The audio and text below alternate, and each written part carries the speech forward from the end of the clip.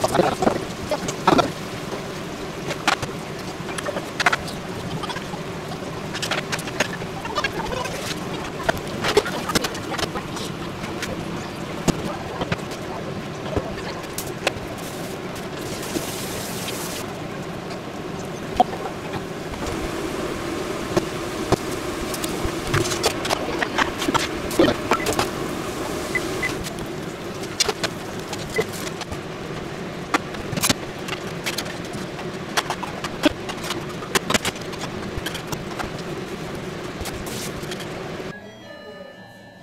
さあお待たせしました。今日の家族ファンこちら。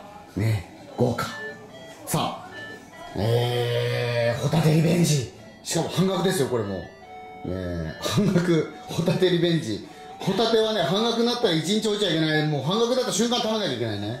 うん香りはまあ大丈夫だと思う、うん、食べてみたらあのあのー、家族ご飯食べるでご確認ください。えそしてこれは半額手羽先の塩コショウオーブン焼き。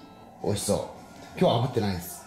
さあそしてピーマンとあのナスはお手前のもの。そして、えー、いや芋はもらい物。そしてちくわ。これちくわ代とちくわとちくわしかかかってないね。ちくわと粉代。粉代。うん。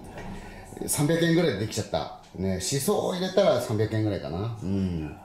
ねあのーもうまだまだある。まだある。いいよめんつゆめんつゆがめんつが一番高いかもしれない。うん。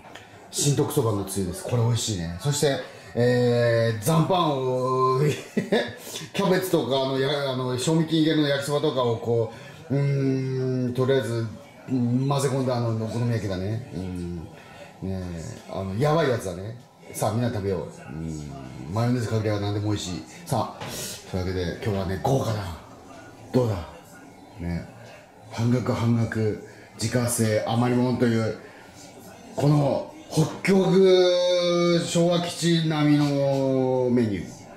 それを早速さ早速いただいてまいりましょう。いただきます。よー